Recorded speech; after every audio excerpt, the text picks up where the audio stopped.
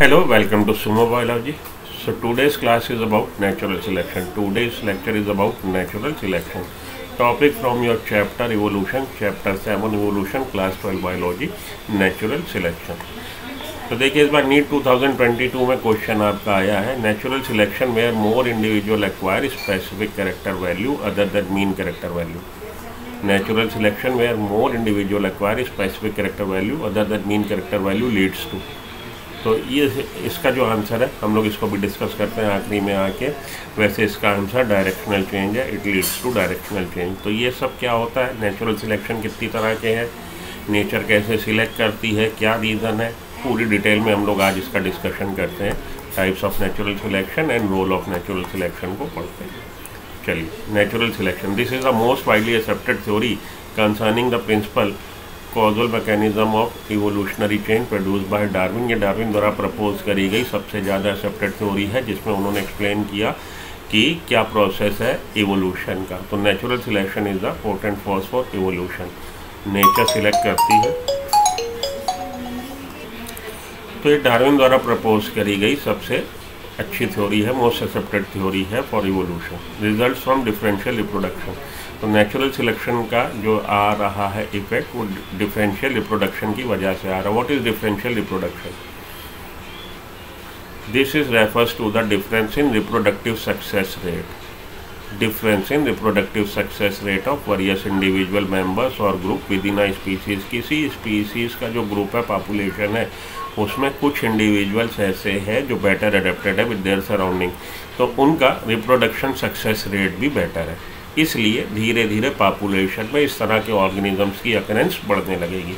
Differential reproduction could be due to number of reason किसी भी reason से हो सकता है, कई सारे रीज़न है including the specific genetic makeup और जिसमें एक बहुत बड़ा रीज़न है स्पेसिफिक जेनेटिक मेकअप कि उनके कुछ जीन्स कुछ एलील ऐसे हैं, जो उनको फेवर कर रहे हैं to get adapted with surrounding specific genetic makeup of individual or group which might make some of them better suited for the purpose of reproduction, जिससे वो लोग बन जाते हैं, उनमें ये कैपेबिलिटी आ जाती that they are better suited for the purpose of reproduction than compare to other तो ये कोई पॉपुलेशन है। पॉपुलेशन क्या? Group of organism of same species जिसमें A type B type C type D type E type F type genotype वाले individual हैं, एक ही species के। तो इसमें मानिए ए और सी में ये कैपेबिलिटी है कि इनका रिप्रोडक्शन रेट बेटर है। क्यों बेटर है? उनके जेनेटिक मेकअप के कारण। तो उनमें ऐसी क्या खासियत है? Characteristic like height intelligence disease resistance etc are some example of factor that could explain the differential reproductive success कि ये बेटर अडेप्टेड है, इनको हाइट फेवर कर रही है। हाइट हो सकता है ऐसा फैक्टर हो कि जो रिप्रोडक्शन में इनको सक्सेस दिला रहा हो, या इसे डिज़ीज़ रेजिस्टेंट है, या इनकी इंटेलिजेंस है, इनको पता है कि कब अप्रोच करनी है। तो ये इस वजह से इनका डिफरेंशियल रिप्रोडक्शन रेट है डिफरेंशियल रिप्रोडक्शन है, इनका रिप्रोडक्शन स्ट्राइक रेट बेटर है तो धीरे धीरे पॉपुलेशन में इन्हीं के ऑर्गेनिजम्स का नंबर बढ़ने लगेगा और धीरे धीरे पॉपुलेशन में इनका प्रभुत्व हो जाएगा due to differential success rate reproduction success rate ठीक है जी तो some example of factors that could explain the differential reproductive success of different member within species वो क्या है जी? फैक्टर हाइट हो सकता है इंटेलिजेंस हो सकता है डिज़ीज़ रेजिस्टेंस हो सकता है इससे selection is the process by which those organisms which are better adapted or fit to the environment survive and reproduce more than those which are less adapted or fit. तो ये लोग हम जो natural selection बोलते हैं selection ये process है जिसमें nature of for the best तो धीरे धीरे वही ऑर्गेनिज्म पॉपुलेशन में उनका नंबर बढ़ने लगता है which are better adapted with their surrounding with their environment fit to the environment survive and reproduce and leave more progeny and more than those which are less adapted तो धीरे धीरे population में इस तरह के ऑर्गेनिज्म का number बढ़ने लगेगा। ठीक है? Natural selection can lead to stabilizing change directional change and disruption change natural selection से तीन तरह का चेंज हो सकता है। आ पॉपुलेशन है three types of individual on the basis of their size तो यहाँ पे साइज़ लिखा है। साइज़ हो सकता है हाइट हो सकता है और वेट हो सकता है तो कोई भी पैरामीटर, कोई भी आप फिनोटिपिक करेक्टर ले लीजिए तो उसमें तीन तरह के ऑर्गेनिज्म आपको मिलेंगे। मिनिमम मैक्सिमम और मीडियम तो इसको, ये तो हमने बोला आपको फिनोटिपिक इफ़ेक्ट के रूप में, और जीनोटाइप इफ़ेक्ट अगर हम बोले तो आपको एक एंड पे मिलेंगे होमोजाइगस डोमिनेंट इंडिविजुअल एक एंड पे मिलेंगे आपको होमोजाइगस रिसेसिव इंडिविजुअल और मिडिल में आपको मिलेंगे हीट्रोजाइगस इंडिविजुअल अगर हम लोग इसको फिनोटाइप के उससे ना बोलें जीनोटाइप के उससे बोलें तो तीन तरह के आपको ऑर्गेनिज्म किसी भी पॉपुलेशन में मिल रहे हैं। जैसे कि आप मान लीजिए होमोजाइगस डोमिनेंट उनका representation capital A capital A आप जानते हैं एलील को हम लोग ए से रिप्रेजेंट करते हैं डोमिनेंट एलील को कैपिटल ए से और रिसेसिव एलील को लोअर केस एलील से। एलील क्या slightly different form of same gene और genes that code for contrasting trait उनको हम लोग एलील बोलते हैं। और वो जीन्स जो ऑटोजोम पे होते हैं, उनको रिप्रेजेंटेशन हम लोग ए कैपिटल ए से डोमिनेंट एलील को रिसेसिव ए को लोअर केस एलील से हम लोग रिप्रेजेंटेशन देते हैं। तो तीन तरह के individual most of the gene आपको पता है टू फॉर्म्स में होते हैं। मल्टीपल एलील का भी केस है, जैसे जीन आई आप देखते हैं मोर देन टू फॉर्म में है, लेकिन ज़्यादातर जीन्स आपके दो फॉर्म में होते हैं डोमिनेंट फॉर्म और रिसेसिव फॉर्म किसी भी पॉपुलेशन किसी भी ऑर्गेनिज्म में तो आप देखेंगे कि पॉपुलेशन में तीन तरह के ऑर्गेनिज्म है। होमोजाइगस डोमिनेंट है होमोजाइगस रिसेसिव है और हीट्रोजाइगस है। अब आप अगर इनका चार्ट बनाएँ फ्रीक्वेंसी का इंडिविजुअल्स की फ्रीक्वेंसी कितनी है तो आप एक एंड पे होमोजाइगस डोमिनेंट को, एक एंड पे होमोजाइगस रिसेसिव को और मिडिल में आप रिप्रेजेंटेशन दें हीट्रोजाइगस इंडिविजुअल को। तो most of the time chart आपका बेल शेप्ड ऐसा आएगा कि मीडियम साइज़ जो है ये आपका मीडियम साइज़ या मीडियम कैरेक्टर इसी को फेवर करता है नेचुरल सिलेक्शन और ज़्यादातर केस में अकरेंस जो होती है पॉपुलेशन में, वो हिट्रोजाइगस इंडिविजुअल की सबसे ज़्यादा होती है। ये होता बेल शेप्ड आपका आ जाएगा ग्राफ ठीक है, अब नेचर जब सिलेक्ट कर रही है नेचर इन्हीं को मानो, इन्हीं का करेक्टर जो है, वो इनका सर्वाइवल रेट सबसे ज़्यादा है तो कुछ समय बाद आप देखेंगे कि ये और स्टीप हो गया। तब अब इसको stabilising type of natural selection बोलेंगे। तो किसी भी ग्रुप पॉपुलेशन में तीन तरह के इंडिविजुअल बात समझ में आ गई? और उनका हम लोग ग्राफिक रिप्रेजेंटेशन दे सकते हैं, उनकी अक्रेंस का, उनकी फ्रीक्वेंसी का, ठीक है जी? तो उस हिसाब से नेचुरल सिलेक्शन तीन तरह का है। नेचुरल सिलेक्शन तो होना ही है। स्टेबलाइजिंग टाइप का सिलेक्शन क्या है? तो ये वाला देखिए ग्राफ जो बना हुआ है, इसमें रेड ग्राफ जो है, ये बता रहा आपको बिफोर नेचुरल सिलेक्शन के एक्शन में आने से पहले, वो एक समय में पॉपुलेशन में इन ऑर्गेनिज्म की अक्रेंस को ग्राफिक रिप्रेजेंटेशन दिखा रहा रेड वाला। और ब्लू वाला दिखा रहा है आफ्टर सम टाइम आफ्टर का ये से फॉर एग्जांपल टू और थ्री इयर्स तो अगर ये मीडियम साइज़ वाले जो हैं मीडियम करेक्टर वाले, इनकी अक्रेंस बढ़ रही है तो ये ग्राफ ऐसे बीच में और स्टीप हो जाएगा, ये पीक आपकी और हाई हो जाएगी और इधर वाले स्क्वीज हो जाएँगे, इधर वालों की अक्रेंस जो आपके एक्सट्रीम पे है होमोजाइगस डोमिनेंट और होमोजाइगस रिसेसिव उनकी अकरेंस कम हो जाएगी आफ्टर सम टाइम इस तरह का अगर आपको इफ़ेक्ट देखने को मिलता है तो नेचुरल सिलेक्शन तो प्ले कर ही रहा रोल इस तरह का नेचुरल सिलेक्शन स्टेबलाइजिंग सिलेक्शन कहलाता है. ठीक है जी? और ये इफ़ेक्ट आपका स्टेबलाइजिंग इफ़ेक्ट कहलाएगा. अगर नेचुरल सिलेक्शन की वजह से ये बिफोर है रेड वाला बिफोर है, और ब्लू वाला आफ्टर आफ्टर टू और थ्री ईयर्स आप देख रहे हैं कि ये जो मीडियन कैरेक्टर था, इसका अकरेंस कम हो गई डिप कर गया ये ब्लू वाला आफ्टर टू और थ्री ईयर्स है। और ये जो दोनों एक्सट्रीम है हीट्रोजाइगस होमोजाइगस डोमिनेंट और होमोजाइगस रिसेसिव इनकी अकरेंस बढ़ने लगी। तो पेरीफेरल के जो कैरेक्टर थे, उनका चूज़ किया नेचर ने मतलब लार्ज साइज़ को चूज़ किया। अगर हम यहाँ पे साइज़ की बात कर रहे हैं, हम जो फिनोटिपिक कैरेक्टर ले रहे हैं, हम लोग साइज़ ऑफ़ इंडिविजुअल ले रहे हैं, मानिए सपोज़ तो लार्ज साइज़ और स्मॉल साइज़ मीडियम साइज़ वालों को नेचर ने डिस्कार्ड कर दिया कि भाई इनका सर्वाइवल रेट कम है, ये बेटर एडप्टेड नहीं है। तो कुछ समय बाद आपको इस तरह की दो पीक देखने को मिलेगी, इसको disruptive type of natural selection बोलते हैं और इसको डिसरप्टिव हम लोग नेचुरल सिलेक्शन और डिसरप्टिव देखते हैं, इसका इफ़ेक्ट आया। और डायरेक्शनल सिलेक्शन क्या है? डायरेक्शनल सिलेक्शन में nature of for one extreme either of homozygous dominant और होमोजाइगस रिसेसिव तो मानिए कि इसके पहले नेचुरल सिलेक्शन के रोल से पहले होमोजाइगस डोमिनेंट की अकरंस ज़्यादा थी पीक शिफ्ट हो गई नेचुरल सिलेक्शन के रोल में आने के बाद।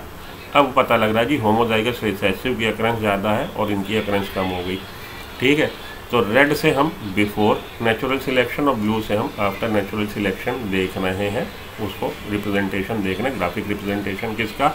इन इंडिविजुअल्स का, ये आपके होमोजाइगस डोमिनेंट ये होमोजाइगस रिसेसिव ये हिट्रोजाइगस तो ये आपके तीन तरह का नेचुरल सिलेक्शन है। ये देखिए फ्रीक्वेंसी इस ग्राफ इस एक्सिस पे आपको frequency of individual number of individual और इस ग्राफ पे आपको, इस एक्सिस पे आपको टाइप ऑफ़ इंडिविजुअल उनका फिनोटिपिक और जीनोटिपिक इफ़ेक्ट मतलब एक्सप्रेशन फिनोटाइप और जीनोटाइप के हिसाब से एक्सप्रेशन और इस एक्सिस पे आपको रिप्रेजेंटेशन देना है नंबर ऑफ़ ऑर्गेनिज्म या फ्रीक्वेंसी का। तो stabilising type of natural selection this type of selection favours average size individual average size individual क्योंकि हम लोग यहाँ पे जिसको डिस्कस कर रहे हैं, हम लोग साइज़ ऑफ़ ऑर्गेनिज्म को डिस्कस करते हुए एग्ज़ाम्पल दे रहे हैं।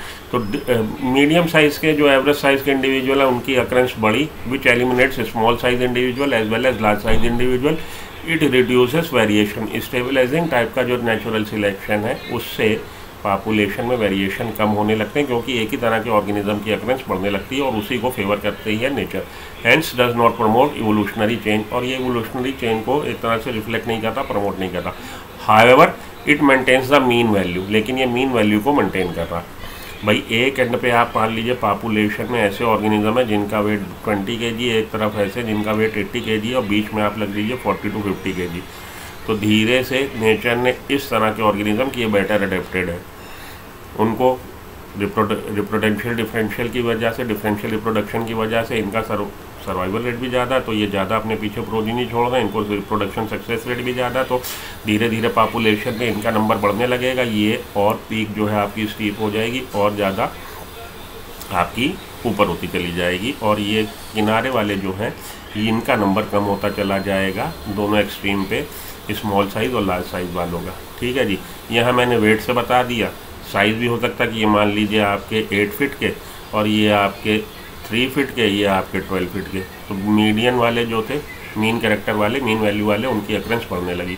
If you draw a graphical curve of population it is bell shape तो कभी भी आप ग्राफिकल कर्व बनाएँगे, किसी पॉपुलेशन का, वो बेल शेप्ड ही आता है। क्योंकि ज़्यादातर पॉपुलेशन में मीन करेक्टर ही नेचर सिलेक्ट करती है। Classical example of this state that result from stabilising natural selection human birth rate birth weight कि ह्यूमन्स में आप देखेंगे बर्थ वेट जो है, मानिए वो बच्चे का दो के जी से पाँच के जी तक है। तो आप देखेंगे ज़्यादातर सर्वाइवल किसका होगा? जो तीन से साढ़े तीन किलो का बच्चा होगा, उसका सर्वाइवल रेट ज़्यादा होगा बनस्पत के लो वेट और हाई वेट के मीन करेक्टर वाले का। तो आप ह्यूमन बर्थ वेट के लिए अगर बनाएँगे ग्राफ तो आप देखेंगे मीन करेक्टर को नेचर सिलेक्ट कर रही है, उन्हीं के ज़्यादा बेटर चांसेस हैं सर्वाइवल के। नंबर ऑफ़ ऑफ़ स्ट्रिंग देख सकते हैं कि नंबर ऑफ़ ऑफ़ स्ट्रिंग ज़्यादातर जो सेक्सुअली रिप्रोड्यूसिंग ऑर्गेनिजम्स हैं, उनमें ना तो ज़ीरो और वन ना तो ग्यारह, बारह, ज़्यादातर क्या दो से चार वालों को फेवर कर रहा, मीन करेक्टर वालों को फेवर कर रहा, उनका सबसे बढ़िया आ रहा है सर्वाइवल रेट डायरेक्शनल चेंज पे आइए selection in this type of selection the population changes towards one particular direction तो पॉपुलेशन शिफ्ट हो जाएगी. पॉपुलेशन एक तरह को फेवर कर रही है. जैसे कि आप देखेंगे इंडस्ट्रियल मिलेनिज्म में पहले क्या था? इंडस्ट्रियलाइजेशन से पहले वाइट कलर मौत की अक्रेंस ज़्यादा थी. तो पहले अगर आप उसका बना लेते हैं ग्राफ तो वाइट कलर वाले मौत की एक तरफ़ की अक्रेंस ज़्यादा है। लेकिन इंडस्ट्राइजेशन के बाद यूके में देखा गया कि ब्लैक कलर मौत वालों की अक्रेंस ज़्यादा हो गई तो ग्राफ इधर को शिफ्ट हो गया। नेचर ने किसको शिफ्ट कर लिया? एक एक्सट्रीम को। तो डायरेक्शन उसका एक तरफ़ को हो गया, उसने एक एक्सट्रीम को चुना। In this type of selection the population changes towards one particular direction एक पर्टिकुलर जीनो टाइप को फिनो टाइप को सिलेक्ट करेगी। It means this type of selection favours small size और लार्ज साइज़ क्योंकि यहाँ पे हम लोग साइज़ को बेस बना के डिस्कशन कर हैं। तो लार्ज साइज़ या स्मॉल साइज़ इंडिविजुअल को चुन लिया and more individual of that type will be present in next generation और नेक्स्ट जनरेशन में इस तरह के इंडिविजुअल की अक्रेंस पड़ जाएगी। The mean size of population changes और मीन साइज़ भाई जब आपके लार्ज साइज़ या स्मॉल साइज़ बढ़ गए तो मीन जो साइज़ था, वो चेंज हो गया जब आप मीन मीन निकालेंगे क्योंकि एक तरफ़ पड़ला झुक गया तो मीन साइज़ भी शिफ्ट हो जाएगा। Examples evolution of D D T resistance mosquito आपने देखा कि जब डी डी टी का हुआ है इन्वेंशन उसके बाद डीडीटी स्प्रे करी गई तो पॉपुलेशन में मॉस्कीटो की या इंसेक्ट्स की पॉपुलेशन में कुछ इंसेक्ट्स और मॉस्कीटो ऐसे थे जिनके पास वो एलील पहले ही था, जिससे उनके डीडीटी रेजिस्टेंस आ रहा था। तो जब आपने स्प्रे किया डीडीटी मानिए उस समय पॉपुलेशन में 36 परसेंट मॉस्कीटो ऐसे थे जो डीडीटी रेजिस्टेंस दिखा रहे थे। तो डीडीटी के स्प्रे के बाद, दो तीन बार के बाद ये देखा गया कि पॉपुलेशन में इनकी अक्रंस ऑलमोस्ट 90 टू 100 परसेंट हो गई, क्योंकि जो आपके जिनके पास डीडीटी रेजिस्टेंस नहीं था, वो तो उनका तो हो गया बोलो राम और यही बचे तो यही अपने पीछे प्रोजिनी छोड़ रहे तो धीरे धीरे पॉपुलेशन में इनकी अक्रेंस इतनी हो गई कि डीडीटी छिड़काव करना ही बेकार हो गया। कि उनमें पहले ही रेजिस्टेंस है पॉपुलेशन में जो बचे, उसी तरह के ऑर्गेनिज्म बचे। या industrial melanism in pepper moth अभी मैंने एग्जांपल दिया यूके में देखा गया था कि इंडस्ट्रियलाइजेशन सेटअप होने के बाद वाइट कलर मौत को ओवरटेक कर लिया ब्लैक कलर मौत ने। इंडस्ट्रियलाइजेशन से पहले वाइट कलर मौत की अक्रेंस ज़्यादा थी, लेकिन इंडस्ट्रियलाइजेशन के बाद, क्योंकि कोल को हम लोग यूज़ कर रहे थे as a energy supplement energy source के।